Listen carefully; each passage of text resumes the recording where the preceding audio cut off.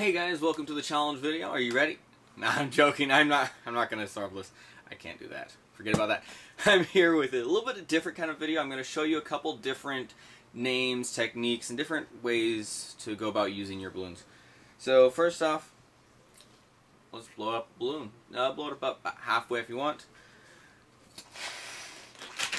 Now, when I blow up a balloon, obviously I'm blowing it with my lungs, which is difficult. Only about 10% of the people in the entire world can actually blow up one of these balloons by mouth. So it is difficult. If you see me doing that and you're like, I can't do that, don't worry about it. Uh, most people can't. I learned how to do this when I was 13. Uh, I love a challenge, and so I decided to, to just go for it. Anyways, you can use a pump. There's lots of good pumps out there. Anyway, so after you got your balloon blown up, you do need to tie it. But before you tie it, burp it. Just let it a little bit of air. I don't know if you can hear that. Just let it out. Tiny bit of air. And tie it. Now the way I tie a balloon, I'm told is a lot different than most people. So let me uh, give you a close-up on that. So, put your fingers together like that. Pinky on the inside facing you. And the rest of the fingers on the other side. Now, make fingers like shooting a gun. Don't shoot anybody. Rotate that inwards. Put it through. There we go pull out, twist. Now take that nozzle, whoop, take that nozzle, slide it down, whoop, slide it down there. And I'm going to pull out and push with my thumb, pull that out. I can do it very quickly. And the reason, one of the main reasons why I started uh, tying balloons that way is because when you tie enough balloons as a professional balloon twister, it starts to eat away at your fingers. Your fingers become a little bit raw. But doing it that the way that I do it actually lessens how how uh, bad the effect is on your fingers. In my opinion, you guys are free to do it however you want to do it. All right, first things first thing I'm going to teach you is how to do a tulip twist. So you take your finger and put it right inside there and just push in. And can see the knot in there? See it? Sticking up? We're going to do with these two fingers, I'm going to pinch that raisin. Well, we call it a raisin sometimes. Uh, you'll understand that later on. I'll explain it soon. I'm going to grab that with these two fingers and pull this finger back out. Now you can see I've got that right there. I'm going to twist it. I'm going to twist it with the little raisin, little knot on that side of the twist. You can see it. Right there. Now, if I let go, it's going to come undone. Well, it can come undone. If you wiggle around. Anyways, you want to push that back into this balloon. There you go. Now it is completely safe. Kids can mess with it. Um, and it's not very likely to come undone. Alright. Next thing we're going to do is a pinch twist. So come down here a little bit. So, for a pinch twist, you want to make a one inch bubble and you fold the balloons over. What you do is you pinch it, pull it, and twist it. A little pinch twist. There you go. Alright. I want to show you how to make a double pinch twist. Now, you could just make two pinch twists. I mean, I can make a second pinch twist right there. There we go. That, that works. But, if you want to save a little bit of time, you do, like here, make two one-inch bubbles. One, two, pinch twist them both, like that, then take this balloon and just run it through, just kind of roll it, and it'll roll through those. Just once or twice, and now you have a double pinch twist. Alright, hope you guys are still following me. Alright, next thing we want to do is a loop twist. So a loop twist is a lot of fun. Just fold the balloon over and twist. That's it twist it right into that uh, double ear twist, or pin twist. Twist that in there. If you make it really small, it's basically a pinch twist. you want to make it a little bit bigger than that. That is a petal twist. So that's like a petal. Or if you make it bigger, you, know, you can call it a petal twist, a loop twist, however you want to do that. Just lock that in here. There we go. Here's a fun thing. Push that through here. It's kind of a uh, uh, poodle face there.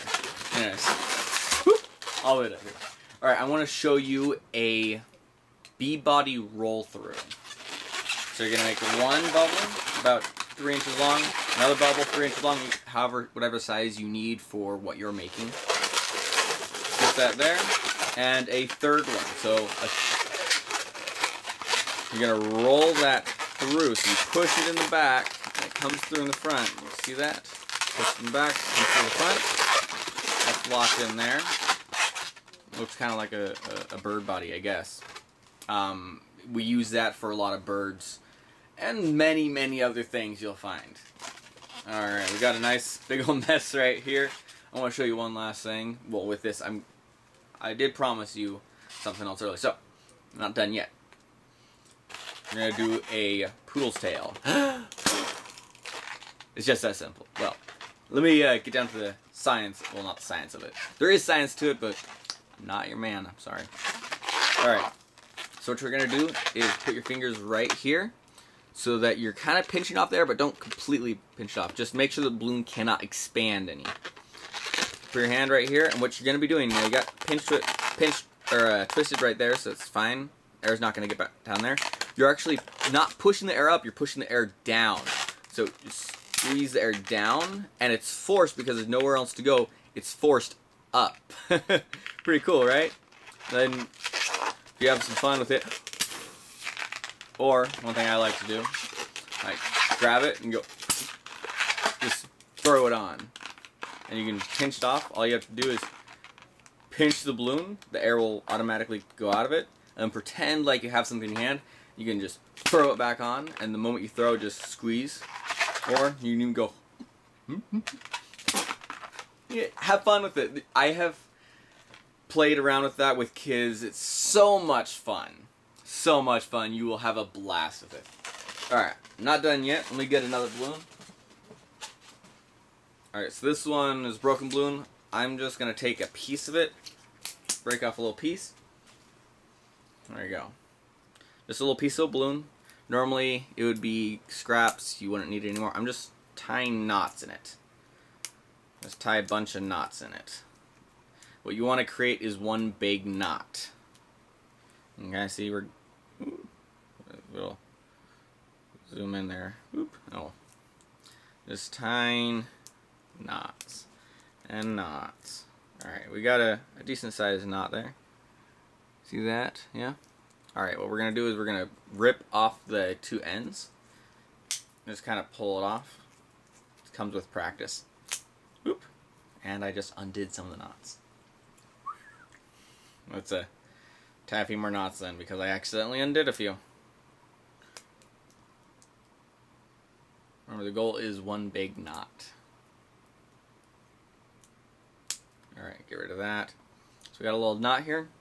And we're going to do, we're going to take that to get a balloon and we're going to drop that into the nozzle of the balloon. Can you see that? There we go.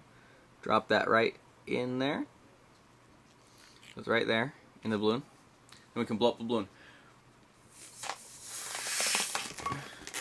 You hear it? Alright. Tie it off. It's just in there rattling. It's a lot of fun. In fact, you can make a bunch of these and turn them into like a rattler for a rattlesnake. Alright, I'm having a lot of fun. I'm getting carried away. Alright, let me get another balloon out here. There we go. Tie that off real fast. Now what I'm going to do is I'm going to make a double pinch twist right here. take the nozzle, because on the end, take the nozzle and wrap it in. I got that. Alright, now what I'm going to do, go back to this balloon. I'm going to find that, make a little U shape, find it. There we go. I just, just had it. There we go. Find that little raisin, see that? I'm going to twist it off right there. This is called a raisin twist. Now, twist that off. You can twist your balloon there, but that's really hard. So what Where did that balloon go? So what you can do is take another balloon or a piece of balloon and wrap that around it real fast.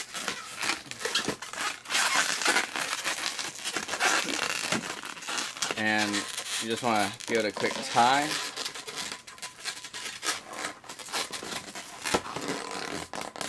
Tie that. You have captured the raisin. Here, now you can use this to twist another balloon onto the surface of that balloon. Isn't that cool? Just attached right in there. Pretty cool, right? Alright, I'm going to detach it because I want to show you another cool thing. I'm just going to break this off. Tie that off. Tie that off. So we just randomly have that on the side of it. I'm having a blast here. Alright, I'm going to show you something else. I'm going to tie these two together. So I'm attaching these two balloons. And we're going to use that tulip twist to something really cool. So push it in this way. Grab that knot. Remember the knot has to be on that side of the pinch. Twist it. And secure it in there. Now, that's another way to attach two balloons together. And you can use that for like a sleeve. Imagine for a second.